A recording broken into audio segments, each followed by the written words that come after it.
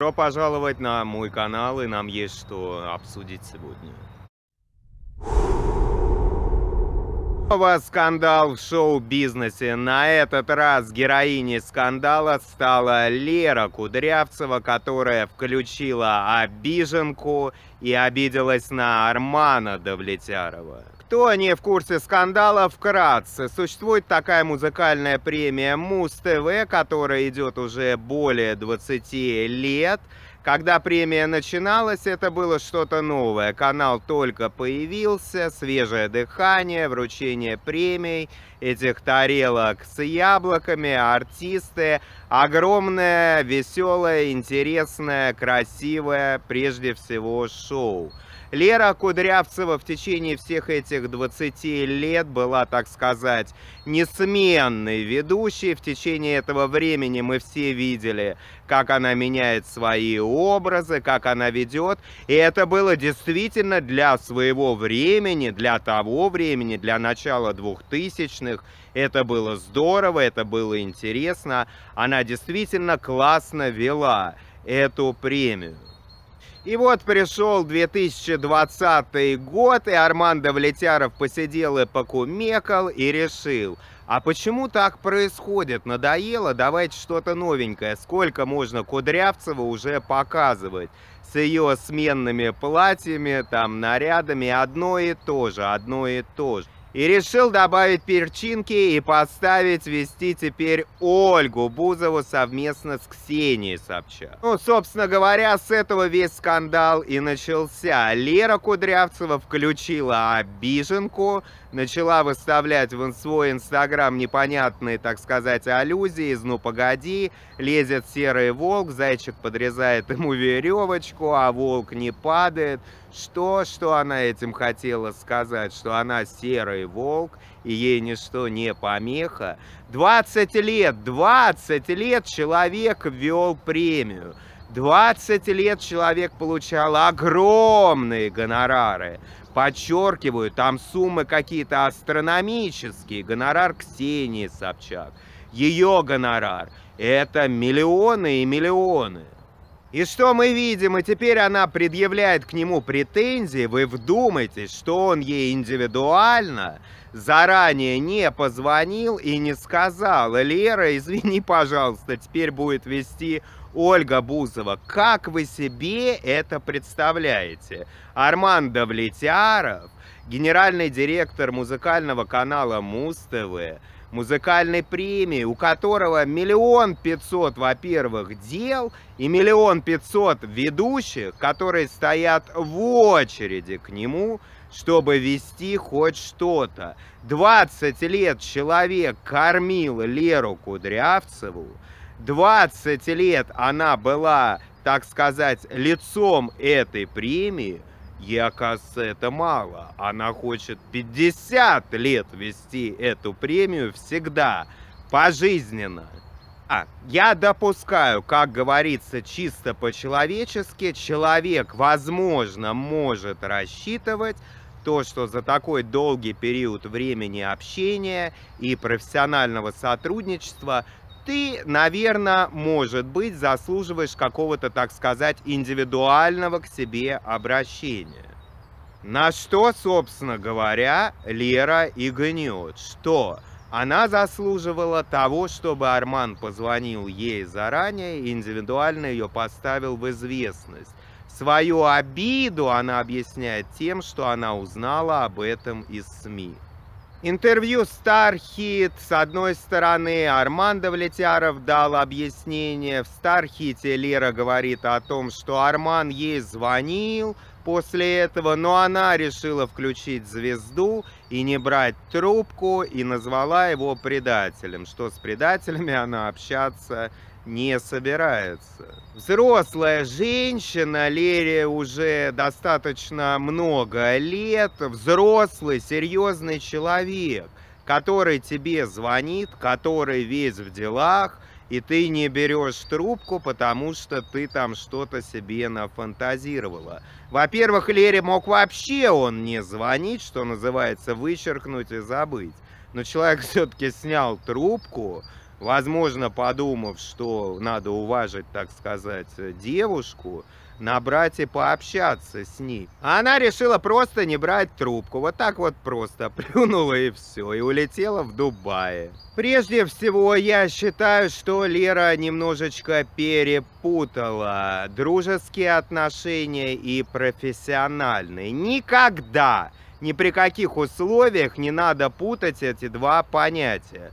Все-таки музыкальная премия, когда ты ее ведешь, ты за это получаешь деньги. И не маленькие деньги, это не маленькие гонорары. 20 лет я скажу еще раз, что Лера получала огромные деньги. Она, в принципе, стала известной широким массам благодаря Муз-ТВ.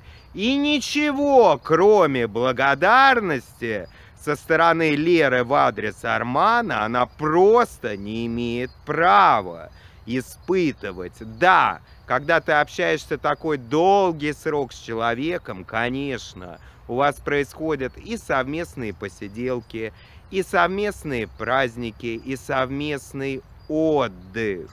Но не надо путать и забывать о том, что все-таки это твой прежде всего начальник.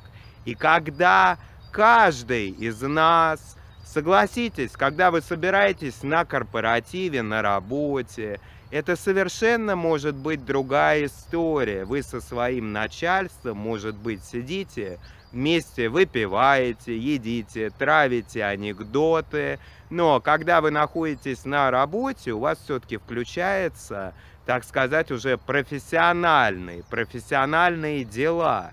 И вы уже подобным образом понебратски себя не ведете. Это глупо ожидать, что в работе ваш начальник будет проявлять дружеское отношение и как-то особо вас вот выделять. Любому начальнику прежде всего, тем более если это касается сферы шоу-бизнеса, ему важно, как будет продаваться этот продукт, как это смотрится. За 20 лет ну, честно, Лера уже надоела. Но сейчас я лично понимаю, что Бузова действительно это будет что-то новое, это будет что-то интересное. В конце концов, фейс надо менять.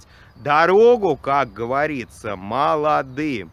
Оля, я хочу напомнить, кстати, напророчила пару лет назад, она была когда на этой премии, она говорила, что она еще будет вести ее. И вот видите, как получилось, как напророчила. С евровидением, конечно, она прокатилась, но теперь у нее в кармашке Муз-ТВ. Лере обижаться, ну просто грех.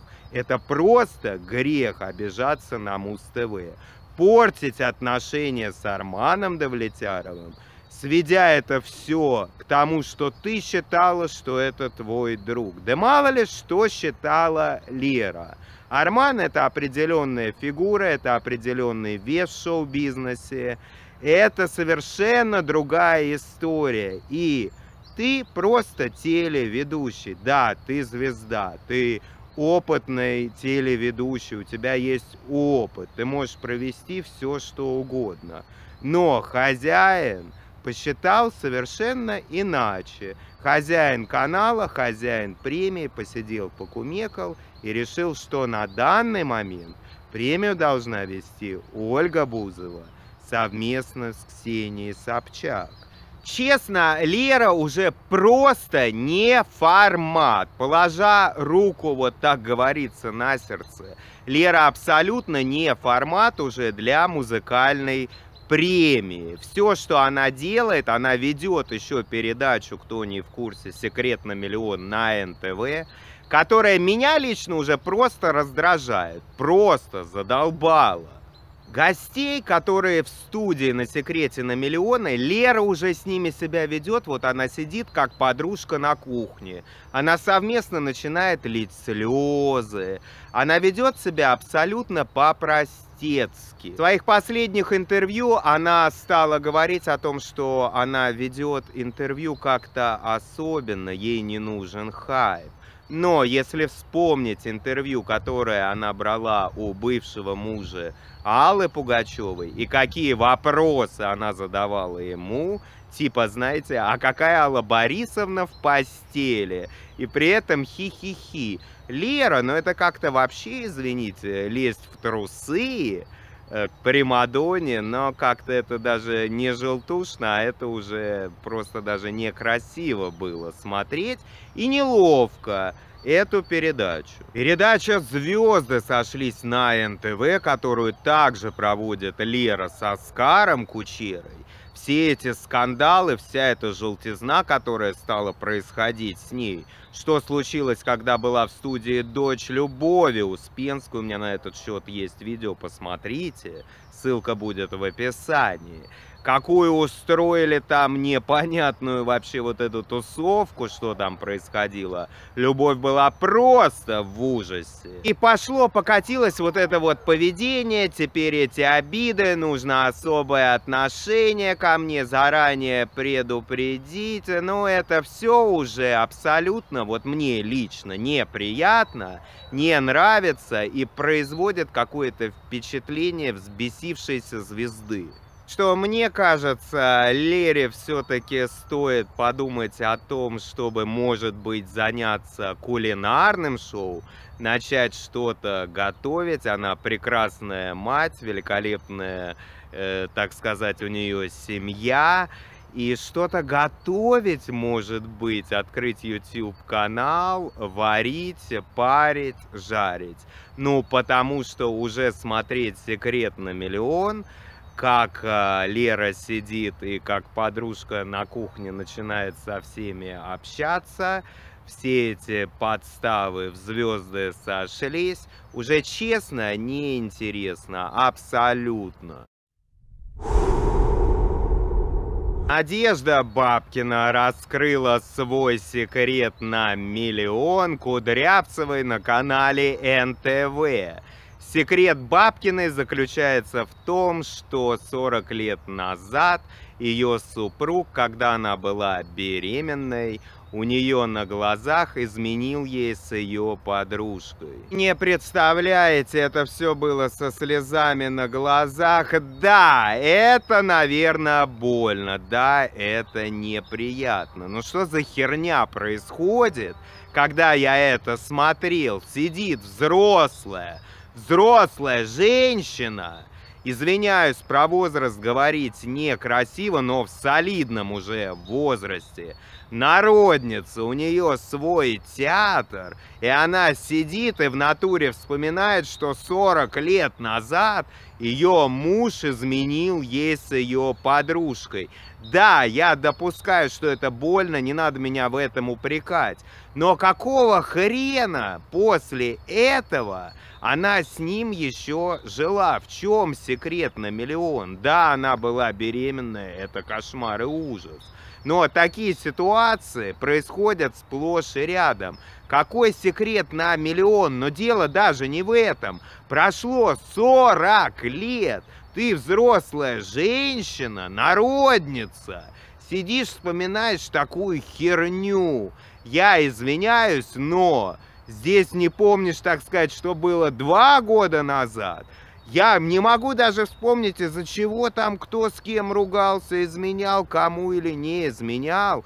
Потому что мне уже все равно, время стирает, остаются лишь, так сказать, приятные воспоминания.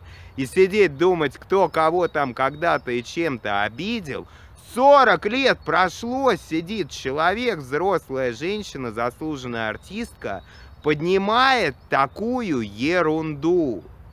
И все это происходило на глазах э, ее супруга. Нет, сори, не супруга. Она сказала, что они не женаты. Любовника, сожителя, не знаю, как все-таки правильнее назвать. Ну, получается, любовника или гражданского мужа. И все это при нем, все это мусоление, что он ей супруг изменил. В общем, это какой-то ад. Евгений Гор, кто не в курсе, тоже какое-то время думал, что он э, певец. И действительно, когда у Надежды Георгиевны завязался с ним роман, они записали, даже, по-моему, было пару клипов, пару песен, и на сцене что-то исполнили. Но, слава богу, этот кошмар прекратился. Я думаю, Надежда Георгиевна ему подсказала, что все-таки лучше тебе, наверное, Женя, не петь, а заниматься чем-то другим. И вот они сидят в студии и начинают вспоминать вываливать свой роман, как это все происходило. Евгений Гор, которого вообще никто не знал до того, как Надежда Георгиевна его, так сказать, ввела в шоу-бизнес, сидят и рассказывают, что вот, у нас все по любви, у нас все независимо, я жил отдельно, я ни копейки не брал. В общем, что не было никакого мезальянса. Нет! Мезальянс, естественно, был, когда Бабкин рассказывает, что она подъезжает к метро на Мерседесе, Евгений Гор стоит на тротуаре с пакетиком из Макдональдса, и она его катала-катала по Москве, и вот так вот укатала, что до сих пор они продолжают кататься. Но, боже мой, что я хочу сказать, насколько Надежде Бабкиной не идет вот не идет, я не знаю почему. Не идет ей этот парень, не идет ей этот мужчина. Она смотрится нелепо с человеком, который младше ее. Абсолютно нелепо. Я не знаю, с чем это связано, но я с ней готов видеть кого-то посолиднее. Ее ровесника, совершенно другого склада, мужчину взрослого когда я вижу эту пару, ничего кроме смеха у меня это не вызывает. Самое интересное, что когда показывают Аллу Пугачеву с Максимом Галкиным, вот насколько все-таки Але это идет насколько не происходит какого-то внешнего мезальянса. Это связано, как я считаю, все-таки с манерой разговора, с характером, с образом, с имиджем женщины.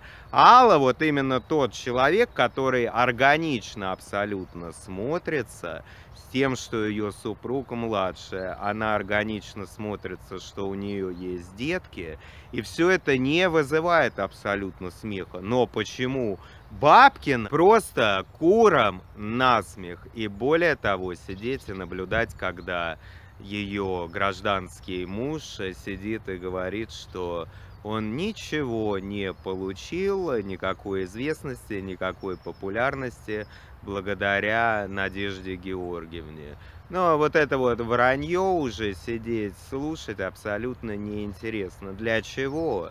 Когда можно просто сказать, да, Бабкина дала мне старт, да, у нас отношения, да, у нас любовь, и она мне много в чем помогла. Для чего вот это вот включать, что я всего добился сам? Абсолютно несерьезно и просто куром насмех. Вот такие сегодня истории. Напишите ваше мнение, мне очень интересно. Давайте обсудим ваш взгляд, что вы думаете. Спасибо, что смотрели. Подписывайтесь на мой канал. Нам всегда есть что обсудить. До следующего видео. Пока.